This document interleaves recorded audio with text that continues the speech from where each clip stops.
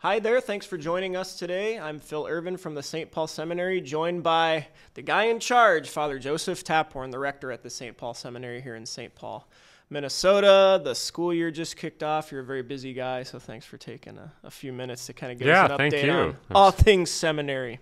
Happy to be here. Awesome. How's the year going so far? Well, we're off to a good start. So I think we're finally through the orientation activities, and we're we're into the regular routine of things and settling into um, just a good horarium, what we call it, the, the the daily schedule of prayer and study and work and formation. And I think we're off to a good start. yeah. So we were just doing the math. You're starting your fifth full year as a rector. Has it has it gone by fast? It has gone by very Yeah. quickly. You know, we, we people in society talk about the COVID time warp, so that does kind of you know it's hard to imagine things went so fast. Yeah. Um, but uh, yeah, it actually has been five years. So um, every year's been different. Um, there's kind of no year's been the same, and Yeah. obviously with COVID and other um, just being new, there were kind of a lot of uh, bumps along the way. But I feel like uh, God's been blessing us. That's good. What have what have you learned? You've held a lot of different leadership positions in the church before this. You helped build a Newman Center back in Omaha. You worked at the Chancery there. You've obviously led um, a parish or two in your time. Um, but what have you learned in, in almost five years as a rector, kind of about seminary formation and what it kind of uniquely takes to build the next generation of priests and Yeah, well, I think in some ways, um, maybe one one thought which would just be consistent with all of those is first, I think to listen uh, to the Holy Spirit, see what is on God's heart really, um, and then obviously collectively discern that with with other leaders on the team. Uh, create that vision and then cast that vision. So I think it's very important in any position of leadership of an institution to make sure that we're listening to God first, what's on His heart, what are His desires, and then to be able to um, articulate that and then really live by that. And Yeah. then, in particular, with priestly formation, of course, I think you know we we take a lot of our um, inspiration from what the church herself gives us. So we're blessed to have a whole program of priestly formation, for example, which uh, we're just now beginning kind of the sixth edition, a new edition that our bishops have approved. We have, of course, the writings of, um, of great saints like John Paul II, one of my personal heroes, and uh, his document now 30 years old, but it's still fresh and new. Uh, Pastores Dabo I will give you shepherd. So the principles of priestly formation, integral formation, uh, forming the whole man. It's not just sort of an academic or an intellectual pursuit, but but but the whole person together. Especially the, the human foundation. I think that one thing we stress at our seminary, and I think we've been very uh, good at, and I think it's really responding to the needs of the church today, would be in the area of human formation. Um, John Paul said very well um, in that document, and again, it rings true that the priest has to mold his human personality to be a bridge and not an obstacle to Jesus Christ. And so the fact of the incarnation is that Christ chose to become man, and he chose to use. Uh, as he founded the church from Pentecost, uh, alive in the Holy Spirit, to continue to use human beings in relationship. And so, our clergy, above all, really have to be men who can um, lean into relationships and use their personality to communicate the saving truths of the gospel. Yeah.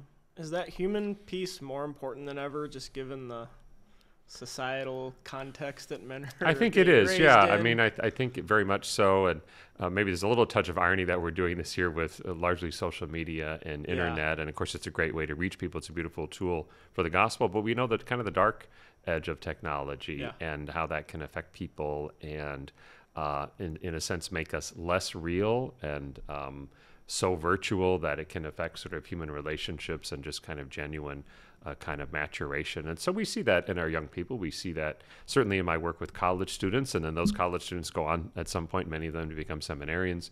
Um, so it's kind of no no surprise that the generation today, for example, would be different than than priests ordained of my age a generation ago, and so we have to be just more attentive, I think, to some of the just again the human natural needs. Obviously, the um, difficulties in family life and and um, broken homes, family of origin Yeah. kinds of things. So the beautiful gift, though, I think, of seminary formation, and especially as we've created, I think, well as best we can, a real environment of trust, is that um, a man we say shows up for formation. In other words, he, he acknowledges who he is, and that's the blessings, and it's also uh, the challenges and, and, areas of growth. And, and, when the whole man shows up, well, now we can really have a good uh, conversation. And I think the fact that that happens day in and day out with an outstanding team of formators really bodes well for the future of the church. Yeah, and then that they go on to kind of discover themselves in such a way that they're then able to really minister well to. Absolutely, that's right. And we, you know, I mean, I, I, I one of my favorite passages is John ten ten uh, Jesus promising, I came that they may have life and have it abundantly. So, really, part of kind of our culture at the St. Paul Seminary would be what makes you come alive? You know, where are you fully alive? We want each man in formation to become fully alive and fully himself. And if that means the way he's most alive is to be a priest, then we bless that and, and, and praise God, and we're going to have him be the best possible priest. If him becoming fully alive is not that, and maybe he's got a vocation to marriage or another state in life, then we want to bless that too. So um, there, there's no sort of um, shame. There's no kind of losing way. God has a beautiful plan for each person. Uh, he wants every person to come fully alive with the gifts and talents uh, that he gives naturally and also the supernatural gifts. And our job is to help foster those, help a man grow into those. And then that's going to be the, the kind of priest we desire. Sure if you walk around the halls or go to daily mass, the building seems fully alive right now. It exactly is, yeah. 100 seminarians. Yeah, so congratulations. Thank you. Awesome. Yeah, well, it's it's been a team effort. There's been a lot of folks uh, inviting and encouraging, and we've been blessed over the last number of years to see uh, more bishops choose to send men to the St. Paul yeah. Seminary. We've seen, in particular, in this archdiocese, just a strong number of seminarians, and of course, um, as a arch as an archdiocesan seminary. Uh, most of the men studying for the priesthood would um, receive their formation uh, for major seminary at the St. Paul Seminary. So we're just very, very blessed in, in those ways and um, excited about having a basically full house. We were just talking at dinner last night that I think we only have two guest rooms on the seminarian floors, and so a good problem to have. Yeah, yeah. I mean, that's pretty much capacity, right? Pretty much, yeah. So again, we could give up two guest yeah. rooms, and then after that, you'd have to start taking away things like the exercise room, or yeah. we've got a computer room and things like that, you know. But um, yeah, so we could we could squeeze a few more in, but we're we're pretty close to being like full. Like you said, it's a good problem to have. It's the largest seminarian enrollment um, in a decade. You mentioned more bishops choosing and trusting the seminary. Are there any other uh, things you'd attribute just kind of the robust enrollment to, especially when a lot of people watching this are probably very familiar with terms like vocation shortage and priest yeah. shortage and things like that. Well, I, th- I, think the men themselves are kind of our best. Um, I hate to say it, advertiser. That's not the right word I'm looking for, but but the best promotion you might say would sure. be: Are the seminarians happy? Are they engaged? Yeah. Are they flourishing? Are they coming to life? And as uh, as the men themselves uh, really make a home, uh, I just had a, a new man uh, in my office. I meet with all the what we call the new men. We have 36 new men this year of that 100, so 36 new to us. So again, a, just a strong sign of growth. Yeah. And so I like to meet with each one and, and get to know uh, each one. And uh, he remarked on a kind of a point I had made in my opening uh, conference to the new men about the seminary. Uh, this is your home for priest or seminarian.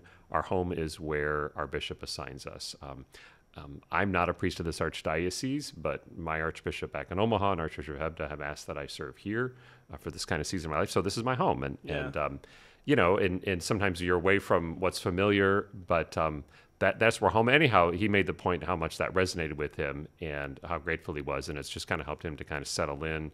Um, maybe in the midst of a little bit of homesickness himself or whatever things may be, just to know, oh yeah, this is actually you know where God wants me to flourish and and feel at home. So I think when men can experience that, uh, the depth of fraternity, of brotherhood, um, caring formators, environment of trust, ability again to to be real and to be known, um, again, even with those growth areas or challenges, that really makes for a happy, healthy place. And that's yeah. going to be, you know, more than any. Uh, I appreciate all the slick brochures, you know, that that your office produces, but even more than that, right, is the testimony of the men who who live here day in and day out, and yeah. when they can speak to their bishops and their friends. Uh, or brother seminarians maybe that they meet elsewhere, that's going to be a source of attraction. Well, in big numbers like 100 seminarians look good on those brochures or in social media, but what you're talking about is it's not just quantity, but but quality of both the formation they receive and then the men who leave here, like you said, whether they become priests or not. Absolutely right, and I, I know we've remarked, I think again we're all getting to know kind of this new house, but I think collectively have been very impressed with with great. just the the new crop of men that God has brought uh, to us, and we're excited to uh, just live life together and do that work day in and day out of formation. Sure. So, also for those who don't know, if you want to be a permanent deacon in the Archdiocese of St. Paul, Minneapolis, you go through St. Paul Seminary, the Institute for Diaconate Formation. Uh, guys get ordained every few years, and there's an ordination class coming up in December of 18 men, which ties the largest diaconate ordination class ever for this archdiocese. Um, how important is it for the local church to have a strong diaconate presence as well? Yeah, well, you know, obviously we, you know, as a seminary, first on the list is priestly formation, but right next to that it, we say is deacon. So Yeah. kind of our three groups of folks, priests, deacons, and lay leaders. This is the group that we form. If you go back to the earliest days of the church, I mean, even in the Acts of the Apostles, we hear about deacons. You know, we think of, uh, you know, uh, the martyrdom of Saint Stephen, for example. You know, in the Acts of the Apostles. So really, from the earliest days, the very constitution of the church had these uh, different orders uh, of service uh, the bishop, the priest, and the deacon. And we find this really from the very beginning. So it makes sense then that um, deacons are clergy, uh, they're sacred ministers in the church. They have their own set of documents, you might say, from the Vatican Yep. and from the Conference of Bishops.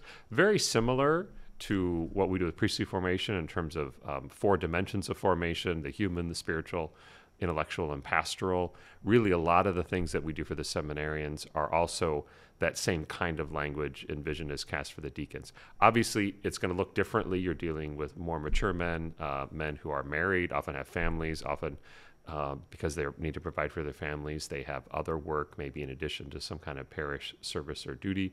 So they're not going to be living uh, in the seminary, for example, because they're family men. So it's going to look differently, but it still is a very intentional formation process. And you might say, sort of the the resources, the expertise uh, from both our, our academic faculty to the spiritual formators to uh, counseling services, all those kinds of things are also available then to the men who are preparing for uh, ordination of the permanent diaconate. So we do see that as very important. And, and in parish life, I think most people realize um, the importance of having deacon or deacons who can not just assist at the altar, but in particular uh, with the work of charity or the work of administration. There's there's all kinds of things that a deacon um, can do, and he has a particular relationship to the church and to the bishop himself Yeah. because of the fact that he is a cleric and he's the same sort of promise of obedience uh, that that a young or that a newly ordained priest makes a donation is also made uh, by a permanent deacon. So there's that very strong ecclesial bond, and the deacon himself too.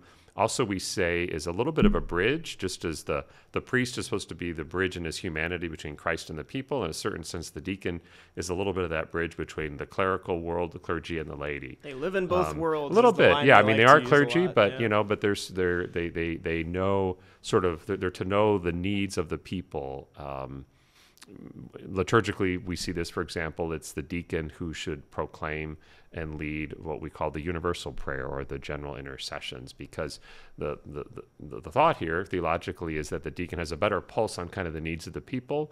So he should be the one to kind of craft that prayer and be able to pray for the general and the particular needs of that community, because he's one of them, he's drawn from them and uh, he's able then to really kind of carry their needs and burdens and also again respond as needed uh, with works of charity Yeah. There's so much beauty in just the practicality of that. exactly yeah great.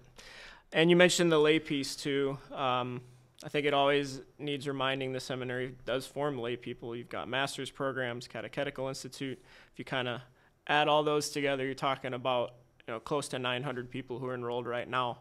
Um, why is a seminary a good place for a layperson to be formed? Might not always. yeah well it's as again it's kind of similar to the part with the deacons again may, maybe a little further extended out but Yep. we do believe that the formation we provide is to be in the, all these different dimensions so it's not just getting a master's degree but we, we're very intentional uh, in our programs that we're also paying attention to opportunities for spiritual growth for human growth um, for instance, the Master of Arts in Pastoral Leadership degree specifically has a very pastoral element to it. So that might be a, good degree for folks who imagine maybe desiring to work in the church professionally, perhaps as a director of religious education or other kind of um, parish ministry. We started a couple years ago one of our newest programs, a certificate in Catholic school leadership, uh, specifically for Catholic school leaders, principals, or rising principals, so that they can get some more, not just theology, but also practice in what it's like to lead a, a yeah. nonprofit in the Catholic Church and to be able to cast a vision and to uh, address problems based upon you know Catholic anthropology and, and how we would sort of view the world. It's going to be different than it might be in a public school system, of course. So it really is, and and you know the clergy. Um, you know, we obviously need priests and deacons, and a lot of them, but most of the church is the laity, right? And so the, the church, we say, would look very funny if it was just clergy. Uh, and we don't want that. That's not what our Lord intended. But what a gift to be able to form lay leaders. Um, the Catechetical Institute, I think you mentioned, we're very proud of that, and particularly the work that we call it the CI for short has been doing to partner with the Archdiocese in the Synod implementation here locally, yeah. uh, forming leaders, the, the parish evangelization teams. So it's just an exciting time, I think, for so much. You can really see the Holy Spirit at work in so many ways. Uh, and we see the seminary being in the mix of all of it. It reminds me of a line of Archbishop Flynn of happy memory, who used to say that the seminary is at the heart of the local church. And I think that's very true here in this archdiocese. Obviously, we serve you know 16 dioceses in the upper midwest uh, but in particular there's that real connection i think to the archdiocese here in st paul and minneapolis so we want to be in the mix we want to be doing our mission of formation and um, whether it's again priest deacons or lay leaders we think we have something to offer. Absolutely. Last one, and we'll get you out of here. It probably seems like a long time ago with everything we've been talking about. How was your summer? What were some well, of the highlights? The highlights. The you summer got the sailboat of, out a few got times. The, know, got the so. Hobie Cat out a couple of times, and uh, always fun on the Hobie Cat. And then, um, you know, it was a great summer. It was a mix of, um, I would say, uh, work uh, and play, yeah. which is a good thing. On the work side, you know, I was I was able to help give a retreat in Omaha with the Institute for Priestly Formation, and that's always a, a privilege and um, a group I've been fond of, and of course it's from my home archdiocese, yeah. and they do such important work. So to be part of that and reconnect um, with friends there, and of course spend some time with family in Omaha was great. Was able to make my own retreat um, um in July as well uh, with with a, a, actually a priest, one of the founders of the IPF, Father John Horn. So a blessing to be with him for a silent directed retreat. Was able to teach a little bit in ongoing uh, formation for seminary formators down in Florida. So I was an instructor for a week um, at the Seminary Formation Council, and then was also to take a couple of vacations, and um, so it was great. In the meantime, try to get back, keep up with mail and email, and yeah. do the best I can. So like the rest of us. Yeah. Sometimes Busy I say time. no trip goes unpunished. you That's come right. back and the That's inbox right. is full, but I think you probably have it a little worse than than I do with everything you got going on. So, well, thanks for the time. Good luck with the rest of the school year, and. Uh, yeah, thanks for being here. Awesome. Thank you, Appreciate Phil. Appreciate it. Thank you for watching. Be sure to subscribe. You can also check us out on stpaulseminary.org as well as Facebook and Instagram. God bless.